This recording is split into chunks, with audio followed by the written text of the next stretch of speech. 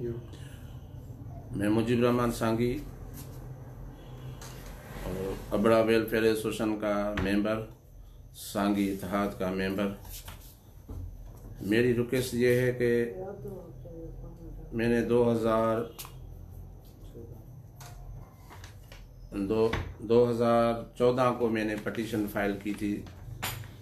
High court Sindh circuit bench Larkana میری request یہ تھی اور میرا میں نے یہ پارٹی حکومت کو کیا تھا کہ بھائی یہ جعلی پیٹرول پمپ جو ہے ہمارے لاڑکانہ ضلع میں چل رہے ہیں، جعلی ایرانی پیٹرول پمپ، پیٹرول۔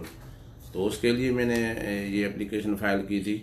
تو میری ریکویسٹ یہ تھی کہ سر آپ جو ہیں ان پر ایکشن اٹھائیں اور یہ جعلی پیٹرول پمپ ختم ہونے چاہیے۔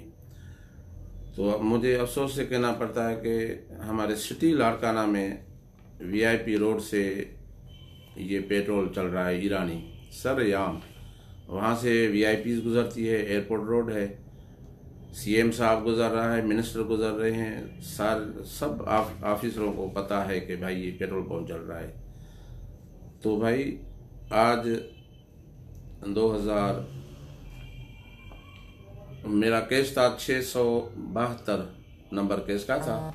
اور آج بیس تاریخ کو یہ کیس جس خادم حسین شیخ صاحب اور جس شمس عباسی صاحب کے انہوں نے کیس چلایا۔ اور جب یہ پوچھا گیا، جسٹس صاحب نے پوچھا کہ بھائی یہ کس نے یہ جواب داخل کیا ہوا ہے، تو وہ ڈی آئی جی صاحب کا تھا۔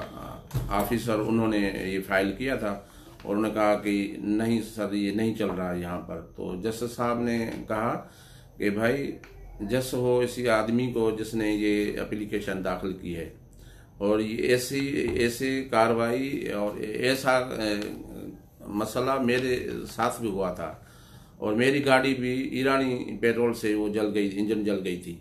تو انہوں نے پروف کیا۔ تو مجھے یہی ریکویسٹ ہے کہ بھائی یہ جو غلط کام ہے اور لینڈ مافیا عموماً کرے لاڑکانہ میں، سرگرم ہے، ان کو جو ہے نا، ان کے اوپر ایکشن ہو۔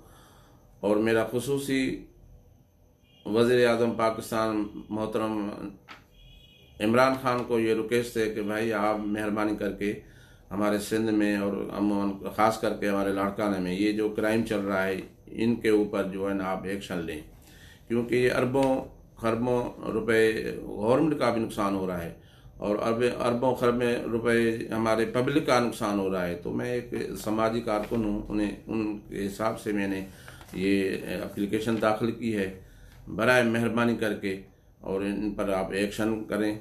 اور یہ جو ابھی نوٹس ہوئے ہیں آئی جی سندھ اور A I G Sindh D I G Larkana اور commissioner Larkana D C Larkana ان کو جسٹس صاحب نے نوٹس بھجوائے ہیں کہ تین تاریخ کو، تین بارہ کو آپ پیش ہوں اور ہمیں آپ جواب دیں۔ تو انشاءاللہ یہ بہترین کاروائی ہوگی۔ آئندہ جو تاریخ ہوگی اس پر مجھے امید ہے کہ جسٹس صاحب اس پر سخت نوٹس لے گا۔ مہربانی آپ۔